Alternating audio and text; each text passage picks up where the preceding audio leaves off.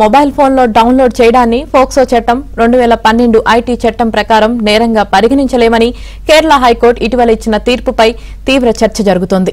దీనిని సవాల్ చేస్తూ దాఖలైన పిటిషన్పై సుప్రీంకోర్టు కేరళ హైకోర్టుకు నోటీసులు జారీ చేసింది. పిటిషన్ను విచారించిన సీజేఐ డివై చంద్రచూడ్ నేతృత్వంలోని జస్టిస్ జేబీ పార్థివాలా మనోజ్ మిశ్రాలతో కూడిన ధర్మాసనం ఫోన్లో చైల్డ్ పోర్ చూడటం నేరమా? కాదా అన్న విషయాన్ని మరోసారి పరిశీలించాలని సూచించింది.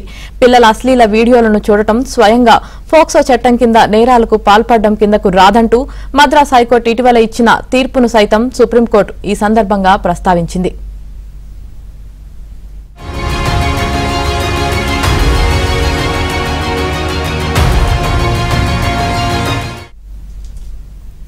యువతలో పోర్నోగ్రఫీ అడిక్షన్ అనేది సమాజం పరిష్కరించాల్సిన తీవ్రమైన సమస్య. ఒకరి పర్సనల్ డివైజ్లో పిల్లల అశ్లీల వీడియోలు ఫోటోలు డౌన్లోడ్ చేయడం చూడటం ప్రస్తుత చట్టాల ప్రకారం నేరం కాదు.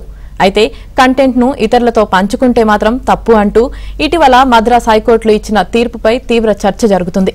భారతదేశంలో చైల్డ్ పోర్న్ చూడటం చట్ట విరుద్ధం కాదని దాన్ని షేర్ చేయడమే చట్ట విరుద్ధమని హైకోర్టు పేర్కొంది. చైల్డ్ పోర్న్ చూసిన ఒక వ్యక్తి కేసులో మద్రాస్ హైకోర్టు ఇచ్చిన తీర్పు ప్రస్తుతం హాట్ టాపిక్గా మారింది.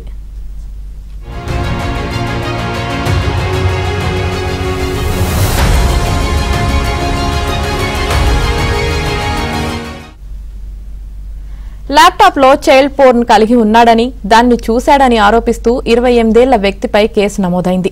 ఈ కేసును విచారించిన justice N Anand Venkatesh child porn చూడటం నేరం కాదని తీర్పు ఇచ్చారు. ఆ వ్యక్తి పిల్లల అశ్లీల కంటెంట్ను మరెవరికీ పంపిణీ చేయలేదన్నారు. అందువల్ల ఫోక్సో చట్టం ఇన్ఫర్మేషన్ టెక్నాలజీ చట్టం కింద ఎలాంటి నేరం చేయలేదని జస్టిస్ తీర్పునిచ్చారు.